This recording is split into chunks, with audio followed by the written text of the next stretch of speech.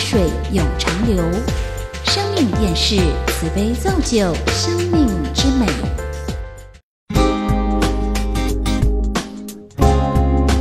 接下来，请收看《菩提如是说》。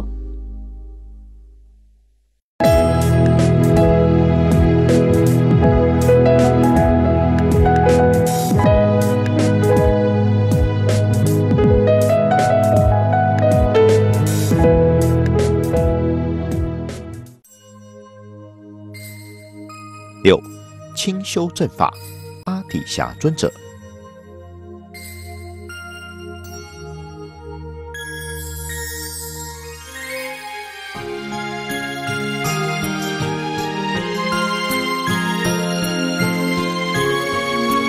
虽然住在近处，却忧心于世间琐事的成败，并为之痛苦，却说我是极静者，请不要这样说。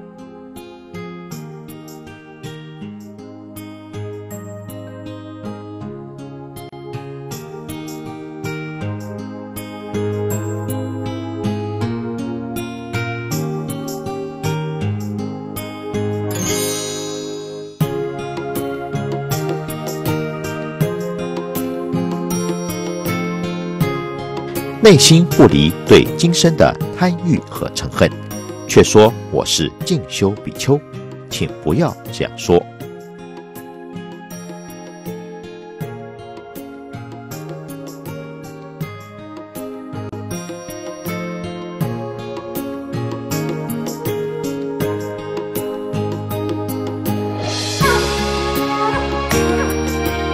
虽然身处近处。但不断除与世俗之人的来往，与自己共处的人谈论世间话题，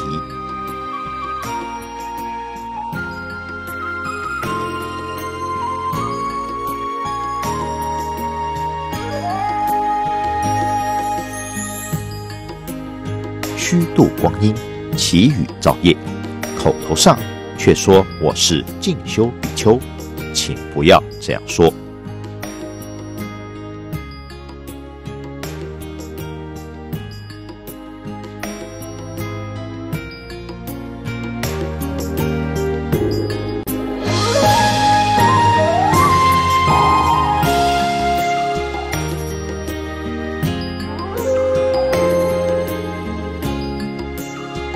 他人对自己微小的损害也不能忍受，对他人连微小的利益也不愿成败，口头上却说我是菩萨比丘，请不要这样说。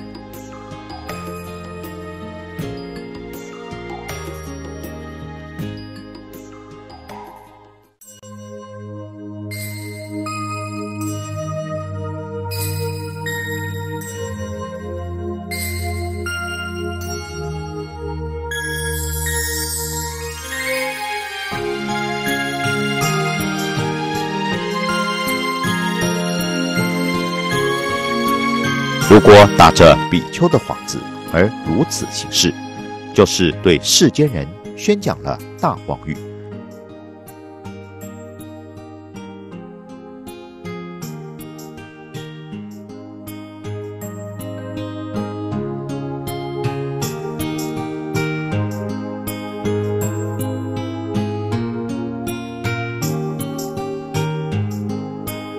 虽然这样可以欺瞒世间人。但终不抵事。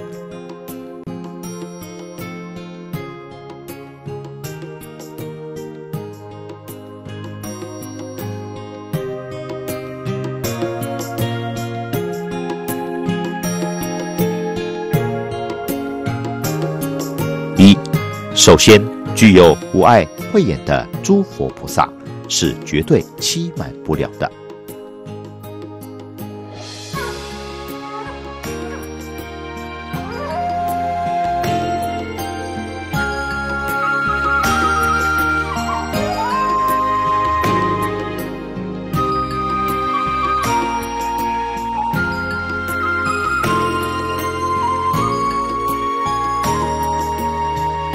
其次，因果报应是如影随形的。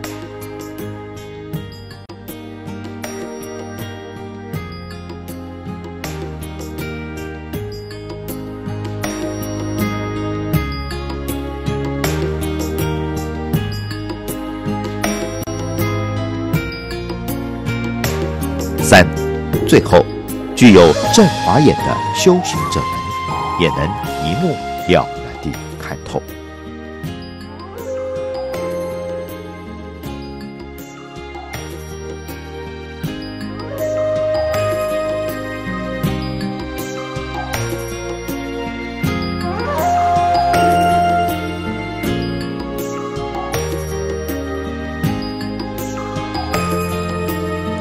此外，应当时常意念你在上师面前是如何立下誓愿的。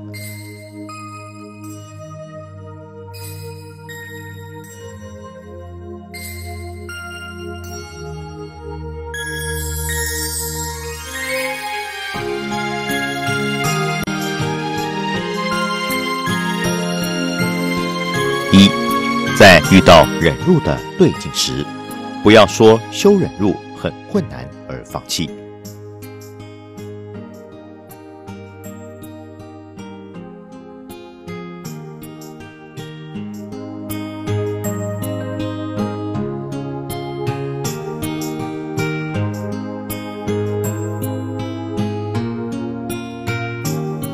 二，在最初还没有承诺发誓之前，对于难行道或易行道。有选择的余地，但如今已不能不修难行道。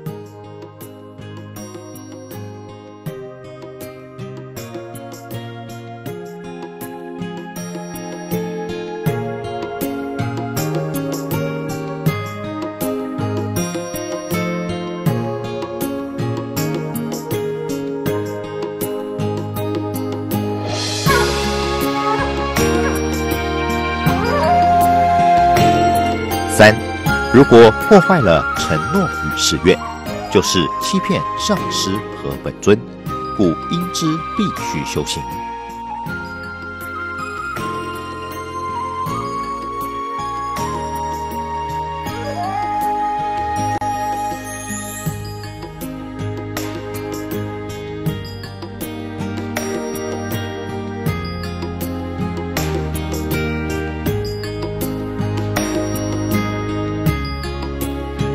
再者，安住在近处的目的是断除与世间人的来往，断除对亲友的贪爱。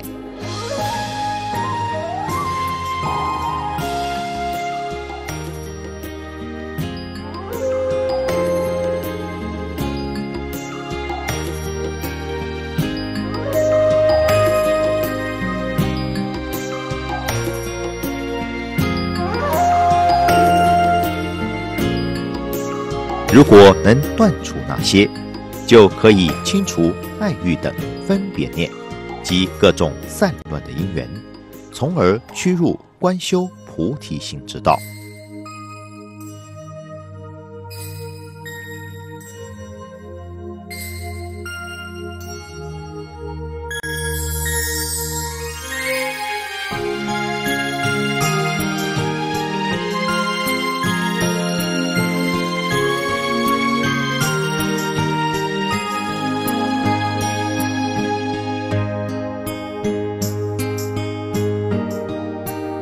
如是，对世间琐事的患得患失，一刹也不会生气。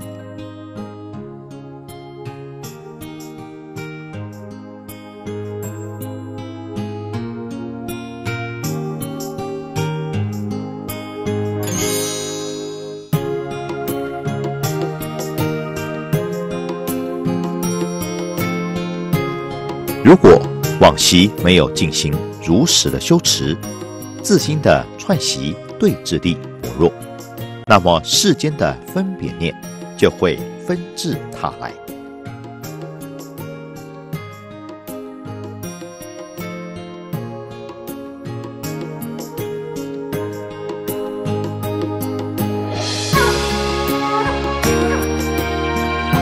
对此，如果不依止殊胜的对治力，那么我们安住在近处，又所谓何事呢？那样和身居山林的野兽又有何差别呢？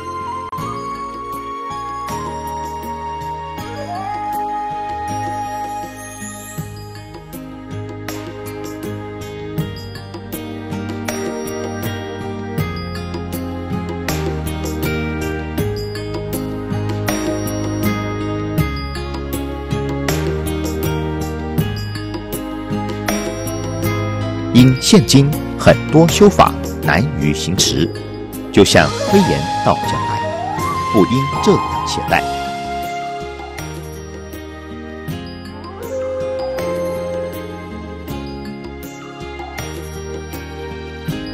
而当这般思维，人手中的如意宝珠一旦丢失了，以后是找不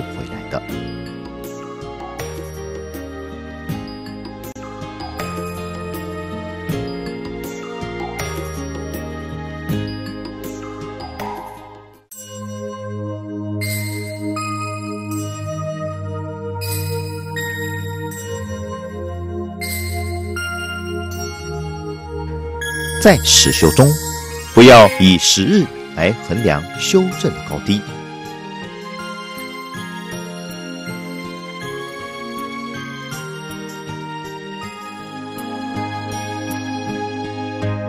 而应当观察自心的修行串习力的深浅，观察烦恼是否减退，要常意念自心。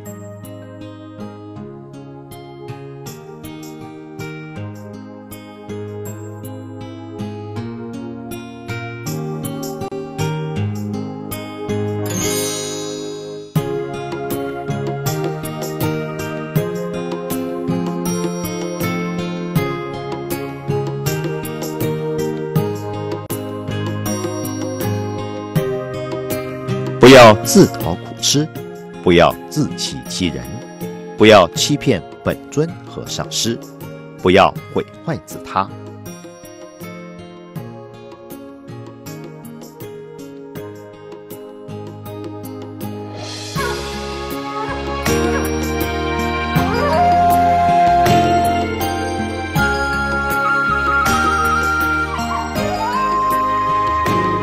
纵然今生的事事遭到失败，也是败不足惜的。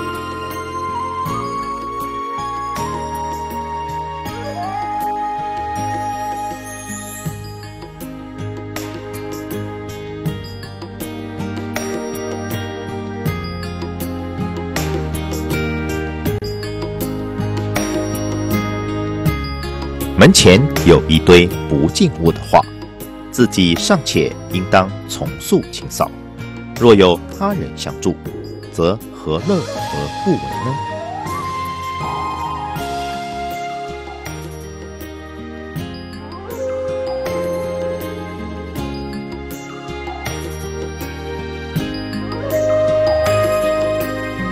同样，今生的一切分别念，是要依靠自己的全部对治力来断除的。如果上师与善友从旁协力，你对此为何不感到高兴呢？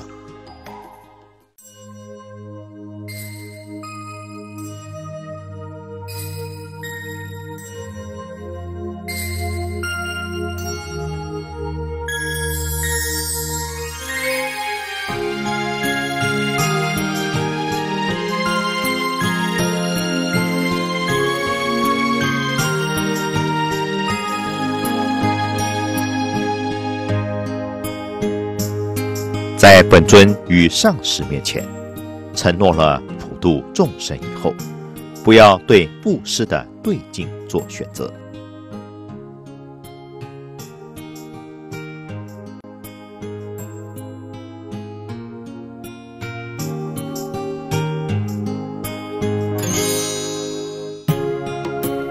对境虽然有所差别，但从自己修炼菩提心的角度而言。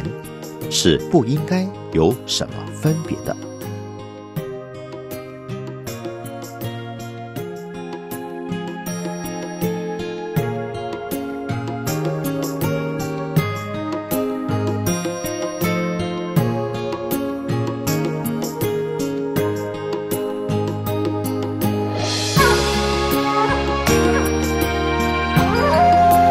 对危害者，不要起嗔恨心。如果对怨敌生起嗔恨心那么什么时候才能修远路呢？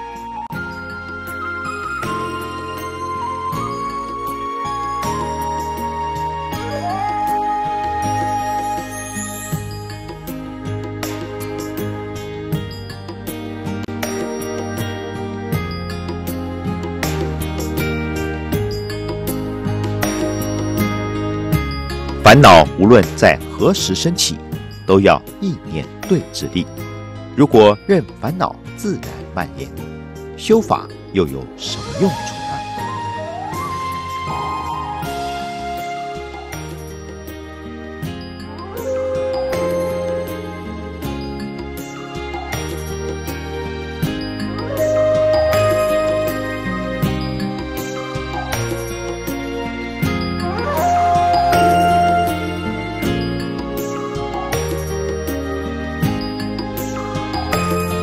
因此，你在观修菩提心时，刹那也不应该忘失正念。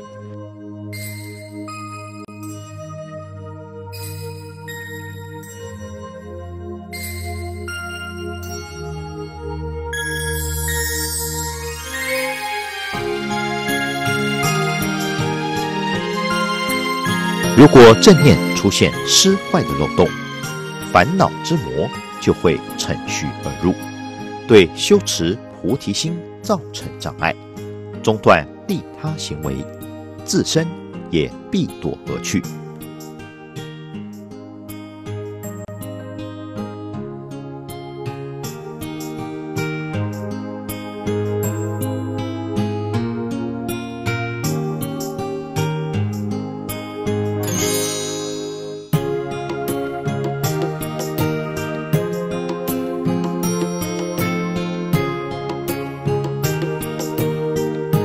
这样的话，虽然自以为是修行者，但却没有实际意义。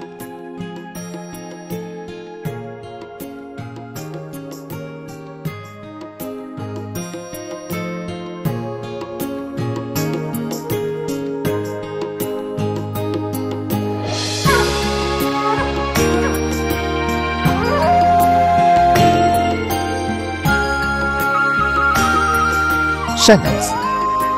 临终时，不要让上师与善友感到悲痛和遗憾，也不要让世间信众产生疑虑和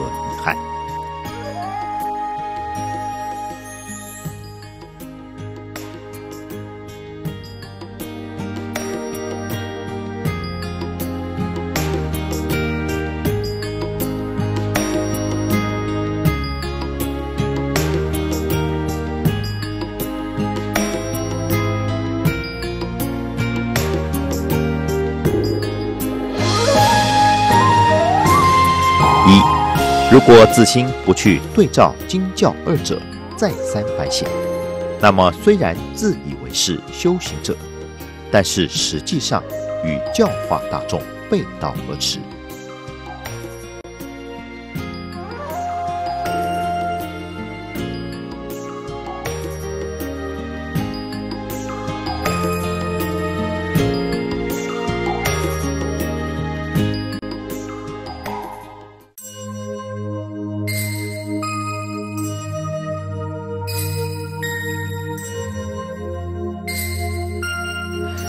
临终时，不但没有任何具有菩提心的迹象，反而出现一些堕入恶趣的迹象的话，就不能不感到悲痛和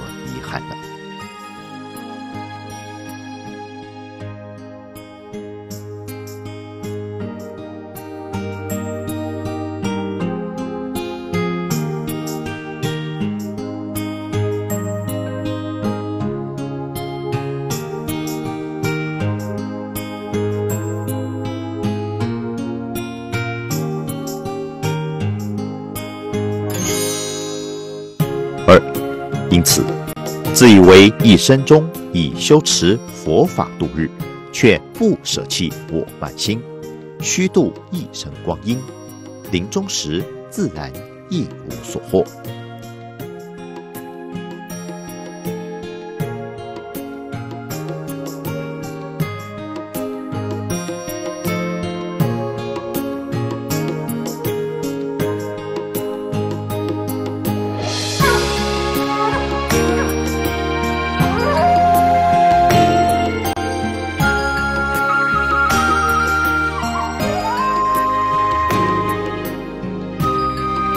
而言之，虽然安住在近处，但如果不放弃今生的琐事，自心不远离爱欲的话，就不能得到佛法的利益。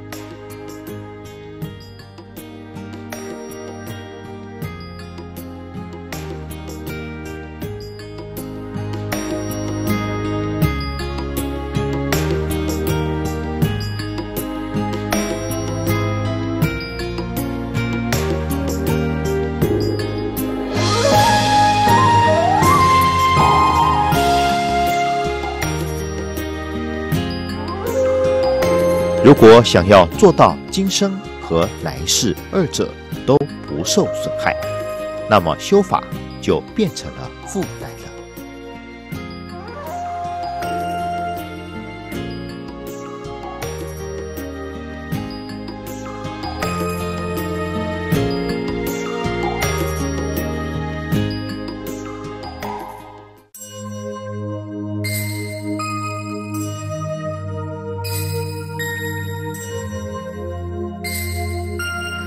这样附带的修法，也只能称为口头上、形象上的佛法。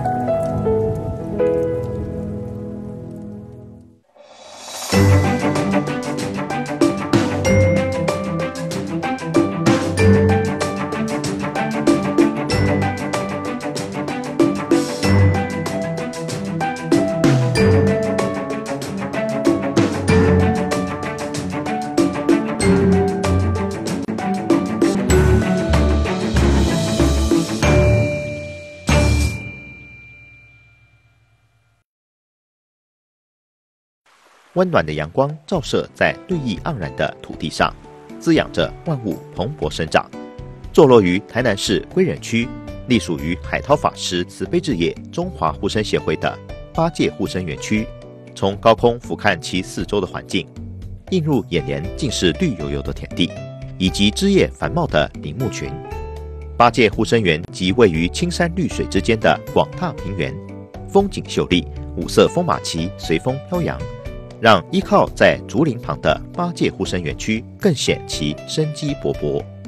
占地一千四百多平的园区中，收养了包括一百零四只的狗，以及一百七十一头猪。简单地将园区分隔为两个区域，从门口望去，右边是猪只们的活动空间，左边则是狗儿们的生活天地。两者虽属不同物种，却能安逸地生活在一起。如一座安乐的大家园。稍稍接近围栏，狗儿便奋力摇尾，伴随着此起彼落的叫声，热情的招呼从未间断，展现出活泼的天性。有些狗儿或许是因为未曾谋面，显得有些退却，羞涩地蜷缩在角落；然而更多的是眼睛透露出渴望关爱的眼神，使人发起怜悯之心。在园区工作人员们细心的照顾及呵护之下，多数收养的狗儿渐渐恢复丰硕亮丽的体毛，以及健康的躯体，并恢复与人亲近。当伸手轻轻抚摸它们，便能得到狗狗们热情的舔手回应。而在另一边，猪圈通风的设计为猪只们挡住酷热的阳光，驱走不少暑气。猪只发出的声响也不分轩轾。有的悠闲地躺卧在角落休息或睡觉，享受着午后的微风；有的则好奇地张大眼睛望向栏外，看见来人便摇着尾巴，并举起短短的鼻子，似乎与人亲近地打招呼，令人深深感受到，不论是猪狗，虽然属于动物，却也能流露出与人浓厚的情感交流及灵性智慧结。为了提供八戒护生园区动物们安稳的生活环境。除了感谢海涛法师慈悲的大爱外，也要感谢工作人员们秉持着佛陀的教法，用爱心来灌溉这片大家园。为了让此殊胜的慈悲善行生生不息，以及所有动物们皆能于此安享晚年，并且永续经营八戒护生园这片动物们的清净乐土，中华护生协会广邀您一同加入护持的行列。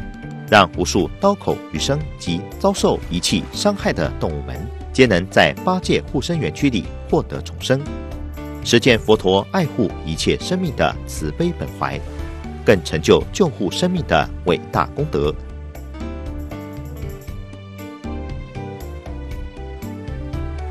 护持华博账号：四二一三八四八三，四二一三八四八三，户名中华护生协会。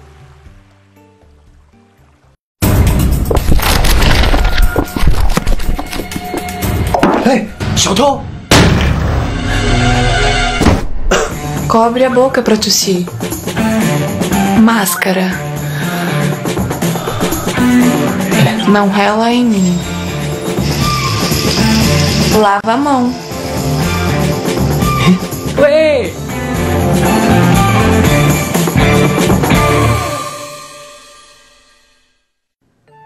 慈悲置业邀请您欢喜当义工， 从事公益行善的利他活动，可以让人变得更快乐。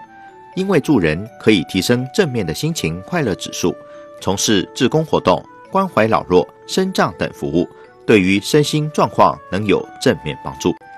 许多人在奉献服务中，感受到世间有这么多需要帮助的人，从而激发自己内在的慈心，扩展自己的心量。获得快乐，这样的心灵喜乐是无价的。这种想要服务大众、嘉惠世间大众的心，就是佛教所说的发心。从事服务社会大众的行动，就是一种菩萨行。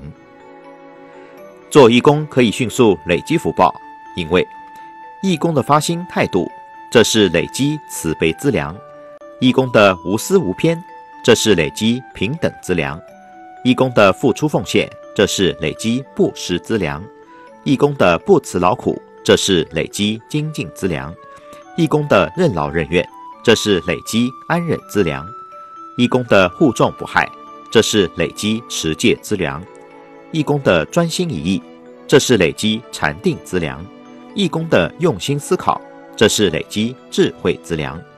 所以，义工除了结交朋友、广结善缘之外，更有累积福报。自利利他的深远意义。义工报名请洽 email life tv 点 net at msa 点 highnet 点 net，服务电话零三九八九九三一九零三九八九九三一九。阿弥陀佛，大乐心咒。哦，阿弥陀佛，阿依悉的吽舍。哦，阿弥陀佛，阿依悉的吽舍。我们常念阿弥陀佛的人，也记得念这个心咒。你常念，业障消除啊！念满三十万遍，一切如愿，乃至往生西方极乐世界。而且现世的一切非死亡，就是意外死亡，皆得消灭。更重要的，地狱鬼道，尤其畜生道，听到阿弥陀佛心咒。皆得脱离三恶道，将来得以往生净土。唵阿弥陀佛，阿依悉地吽舍。唵阿弥陀佛，阿依悉地吽舍。唵阿弥陀佛，阿依悉地吽舍。唵阿弥陀佛，阿依悉地吽舍。唵阿弥陀佛，阿依悉地吽舍。唵阿弥陀佛，阿依悉地吽舍。